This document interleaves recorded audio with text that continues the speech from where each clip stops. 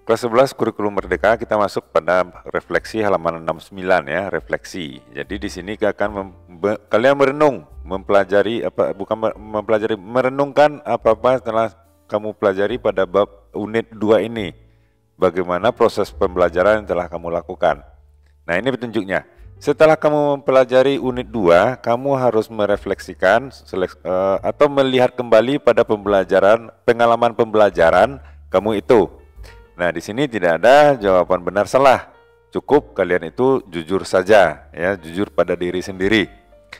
Nomor satu, jawab ya. Nomor satu, dalam skala 1 sampai 5, bagaimana kamu menilai pemahaman tentang dongeng yang telah kamu pelajari? Isilah e, bintang ini, ya. Ini dia bintangnya. Nah, kalau misalnya kalian itu sangat mengerti seluruhnya, kasih bintang 5. Tapi kalau tidak mengerti sama sekali, kasih bintang satu. Nah, kalau ragu-ragu, kasih bintang tiga. Begitu seterusnya. Nomor dua, nah can you, bisakah kamu, nah ini dia. Bisakah kamu mengidentifikasi atau mengenali tokoh-tokoh uh, ciri-ciri dari uh, sebuah cerita dongeng? Kalau bisa, nah bagus itu, sebutkan bisa. Kalau tidak, tolong uh, pelajari lagi. Bisakah kamu memahami non phrase dan adverb of time, place dan manner pada sebuah uh, cerita dongeng. Ya. Kemudian nomor empat, bisakah kamu memahami informasi-informasi langsung dan tidak langsung? Apa itu? Ide pokok dan informasi-informasi detail lainnya dari teks yang telah kamu pelajari dan kamu dengar. Ya. Nomor lima, Bisakah kamu menulis sebuah cerita dengan struktur atau susunan skematik yang dan fitur-fitur linguistik yang sesuai ya. Jadi eh, struktur skemanya benar, fitur-fitur eh, kebahasanya sudah benar ya, yang appropriate ya. Nomor enam, bisakah kamu menceritakan ulang cerita yang telah kamu tulis itu Artinya penampilan dalam apa namanya mendongeng. Apakah bisa kalian mendongeng? Nomor 6. Nom eh nomor 7 lagi ya. Yang what? Apa? Hmm. Apa nomor 7? Apa nilai-nilai yang telah kamu pelajari dari unit ini? Unit 2 ini ya. Nomor 8, apakah apa saja aktivitas-aktivitas pembelajaran yang paling kamu sukai? Yang nomor 9, Nah, apa saja pengalaman-pengalaman atau aktivitas-aktivitas pembelajaran yang kurang kamu sukai pada unit ini. Kemudian nomor 10, bagaimana material uh, apa namanya materi yang telah kamu pelajari pada unit ini dikaitkan dengan situasi nyata dan masalah-masalah kehidupan kamu sehari-hari.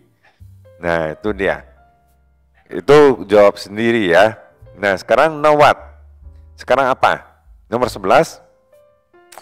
Apa kira-kira yang kamu ingin uh, tingkatkan atau perbaiki? Ya, jadi yang kalian per, uh, perbaiki itu ada kalau kalian mengerti tentang uh, sudah memahami tentang bagaimana mengenali ciri-ciri uh, dari apa nama fairy tales ini dongeng ini, maka itu tidak perlu lagi diperbaiki. Atau kamu sudah memahami bagaimana menggunakan noun phrase, adverb of time, adverb of place, dan adverb of manner itu sudah tidak perlu lagi. Tapi kalau masih uh, masih perlu maka ini kalian masukkan. Kemudian apakah kamu sudah bisa memahami informasi-informasi langsung atau tidak langsung? Kemudian uh, apakah kamu bisa menulis sebuah uh, cerita yang sesuai dengan struktur skemanya dan fitur-fitur kebahasanya sudah benar? Nah, kemudian apakah kamu bisa mendongeng ya menampilkan dongeng di depan kelas? Nah, kalau uh, kalau masih ada yang ragu-ragu, nah itulah yang harus kamu perbaiki di masa depan, ya. Nomor 12 Apakah yang ingin kamu pelajari lebih banyak di masa depan? Nah, tentang apa? Apa? Eh, tentunya tentang dongeng ini ya. Ya, jangan yang ke mana-mana. apakah uh, kamu ingin memahami tentang uh, non phrase-nya, apakah implisit eksplisit informasinya atau yang mananya yang kamu ingin mempelajari di masa depan. Nomor 13, dalam kehidupan kamu sehari-hari, bagaimana kamu menerapkan uh, apa yang telah kamu pelajari?